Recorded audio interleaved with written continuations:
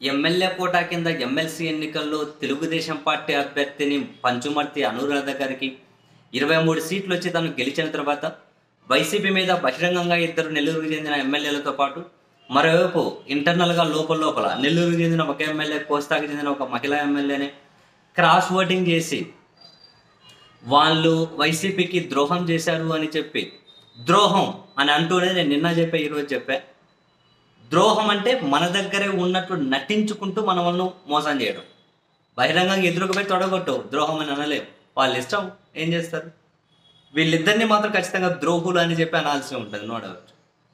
ఇదంతా చేసిన తర్వాత దీని మీద ఈరోజు తెలుగుదేశం పార్టీ మీడియా ప్రధాన పత్రికలు బ్యానర్ హెడ్డింగ్లు పెట్టి దీన్ని ఇందులో అంటే దీన్ని వెయ్యి నోళ్ళ పొగుడుతూ జగన్మోహన్ రెడ్డి గారికి పంచబడింది ఎదురు దెబ్బ అని చంద్రబాబు నాయుడు గారిని ప్రశంసలు గురిపించుకుంటూ కథనాలు రాశారు. అయితే మొత్తం కథనాలు వీళ్ళకి తెలియకుండానే వీళ్ళు ప్రధాన ప్రత్యర్థిగా భావించి తీవ్రంగా ద్వేషం జిమ్మే ముఖ్యమంత్రి జగన్మోహన్ రెడ్డి గారి మీద వీళ్ళు ఏమంటారు తన నైతికతను తన నిబద్ధతను ప్రశంసలతో ముంచెత్తారు. వీళ్ళకి తెలియకుండానే. సీరియస్లీ. ఎందుకంటారా చంద్రబాబు నాయుడు గారు రాజగురువు పత్రికలో కొన్ని రాతలు రాశారు. ఏమని? ఇద్దరు ఎమ్మెల్యేలను వైసీపీ గుర్తించినట్లుంది ఎవరు వాళ్ళు అని.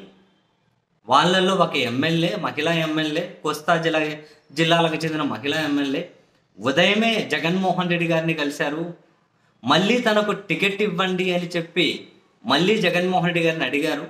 టికెట్ ఇవ్వను ఇవ్వలేను అని చెప్పి ఆయన చెప్పారు. సో ఆమె క్రాస్ ఓటింగ్ చేసి ఉంటుందని చెప్పి వైసీపీ అనుకుంటుంది అని రాశారు. అండ్ మరో నెల్లూరుకు చెందిన ఎమ్మెల్యే వాళ్ళ భార్యకు ఒక పదవి అడిగారు వాళ్ళ కుటుంబ సభ్యులకి. భార్య కానీ అందరికీ తెలుసు. వాళ్ళ కుటుంబ సభ్యులకు ఒక పదవి అడిగారు. ఇవ్వలేను అని చెప్పి జగన్మోహన్ రెడ్డి చెప్పారు. కనీసం కొన్ని పనులైనా అడిగారు ఆయన చేసి పెట్టండి అని. అవి కూడా చెయ్యలేను అన్నారు. సో ఆయన కూడా ఓటు వేశారు. క్రాస్ ఓటింగ్ చేసింటారని చెప్పి వైసీపీ ఒక కన్క్లూజన్కి వచ్చింది అని రాశారు. అంటే దీని అర్థం ఏంటి? దీని అర్థం ఏంటి? ఎమ్మెల్సీ ఎన్నికలు వస్తూ ఉన్నాయి.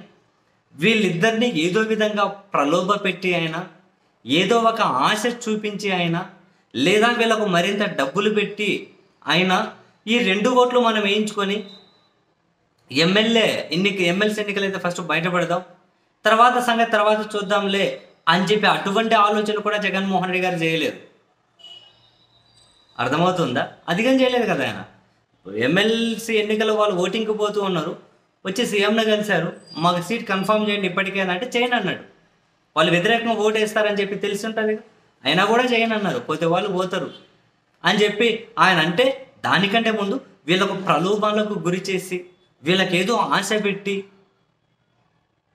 మళ్ళీ అప్పుడు ఏ మాట తప్పడం మళ్ళీ అప్పుడే ఏదో ఒకటి అని చెప్పి చేయడం అటువంటి పని చేయకూడదు అనుకున్నారు కాబట్టి చివరి నిమిషంలో నేను చేయనన్నారు. పనులు చేయలేదంట పదవులు లేదంటే టికెట్ కానీ ఇవ్వనన్నారు. మరి జగన్మోహన్ రెడ్డి గారి నిబద్ధతను వీళ్ళు ప్రశంసించేటట్లే కదా? అది జగన్మోహన్ రెడ్డి గారి నిబద్ధతే కదా? మరి ప్రతిపక్ష తెలుగుదేశం పార్టీ ఒక్కొరికి పది కోట్లు పదిహేను కోట్లు ఇచ్చిందని చెప్పి ప్రచారం జరుగుతున్నారు. అధికారంలో ఉండి వీళ్ళంత ఇవ్వలేదా ఇవ్వలేరా? కావాలంటే ఇచ్చేవాళ్ళుగా? మరి ఇవ్వలేదుగా అండ్ మరొక వైపు ఆయన కుటుంబ సభ్యులకు పదవి కానీ ఇవ్వలేదు పనులు కూడా చేసి పెట్టలేదు. ఎస్ దీనికోసం నేను వీళ్ళని ప్రలోభ పెట్టదలుచుకోలేదు. అని చెప్పే కదా ఆయన క్లియర్ కట్గా అవన్నీ చేయలేదు. అంటే వాళ్ళు ఎమ్మెల్సీ ఎన్నికల్లో ముందు ఇవన్నీ అడిగినా కూడా చేయలేదు అంటే వీళ్ళను ప్రలోభాలకు గురి చేసే ఉద్దేశం నాకు లేదు అని జగన్మోహన్ రెడ్డి గారు చెప్పినట్లే కదా వీళ్ళ రాతల ప్రకారం.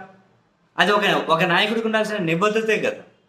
మరొక వైపు వారాంత పలుకుల పత్రికల్లో కూడా చంద్రబాబు నాయుడు గారు తనకు పంతొమ్మిది మంది బలం ఉన్నా కూడా ఒక అభ్యర్థిని నిలబెట్టి వైసీపీని చీల్చి చీల్చి అన్నది మీరు డబల్ ఇన్వర్డ్ కమాన్స్లో చదువుకోండి.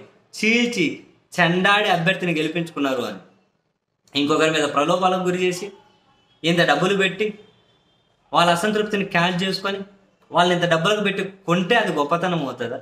వాటిని మీడియాలు కనుక ప్రశంసించుకుంటూ ఎక్కడికి వెళ్ళాలి? ఎక్కడికి వెళ్ళాలి? ఎవరైనా వ్యతిరేకించవచ్చు. ఎవరైనా వ్యతిరేకించవచ్చు. ఓపెన్గా వ్యతిరేకించమను. ఇప్పుడు కోటమిరెడ్డి శ్రీధర్ రెడ్డి గారు ఆనం రామనారాయణ రెడ్డి గారు వాళ్ళు ఇష్టం రాజకీయంగా ఏమో నిర్ణయం తీసుకొనియండి.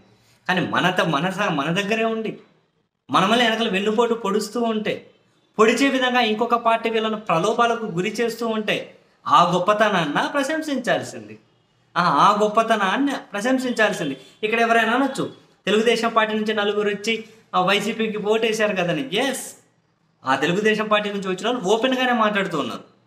వీళ్ళు ఇటువంటి వాళ్ళ మీద నేనేమంటున్నా గెలిచిన పార్టీ మీద ఎవరైనా కావచ్చు ఆనం కోటమిరెడ్డి ఇప్పుడు వీళ్ళు ఏదో ఎదురుగా వ్యతిరేకంగా ఓటేసిన వాళ్ళు టీడీపీ నుంచి ఎవరైనా కావచ్చు పార్టీ వ్యతిరేక కార్యకలాపాలకు పాల్పడుతున్నప్పుడు వీళ్ళని అనర్హులుగా ప్రకటించాలి. నేను ఎప్పటి నుంచో కూడా డిమాండ్ చేస్తూ ఉన్నాం. ప్రకటించాలి. నైతికతతో కూడిన రాజకీయాలు చేయాలి ఎవరైనా. బట్ వాళ్ళు ఏం వెన్నుపోటు పడవలే. ఓపెన్గానే వ్యతిరేకిస్తూ ఉన్నారు. ఇట్లా ద్రోహం చేయలే. కోవట్ ఆపరేషన్ చేయలే. అలా కోవట్ ఆపరేషన్ చేసేదాకా వాళ్ళకి డబ్బులు ఇచ్చి రండి రండి అని. ఇవన్నీ చేయలే. వాళ్ళే వ్యతిరేకించుకుంటూ వచ్చేసారు. ఇప్పుడు ఏడైనా కోటమిరెడ్డి ఆనమైనా వాళ్ళు వ్యతిరేకించుకుని వెళ్ళిపోయారు. దానికి ఎవరేం చేయలేం. కానీ లోపల వీళ్ళిద్దరు ఉన్నారు చూడండి. వాళ్ళకి డబ్బులు ఇచ్చి కొనిపించి కొనుక్కొని ఇటువైపు ఓటేయించుకోవడం దాన్ని దాని నాయకత్వాన్ని కీర్తించాలా? అటువంటి యాక్టివిటీస్ రాజకీయాల్లో ప్రోత్సహించాలా? ఆ పని జగన్మోహన్ రెడ్డి చేయలేదనే కదా వీళ్ళు రాసిన రాతల రాతల ఉద్దేశం. ఆ పని ఆయన చేయలేదనే కదా. మరి వీళ్ళు జగన్మోహన్ రెడ్డి గారి నిబద్ధతను ప్రలోభాలకు గురి చేయనటువంటి జగన్మోహన్ రెడ్డి గారిని వీరు ప్రశంసించినట్లే కదా?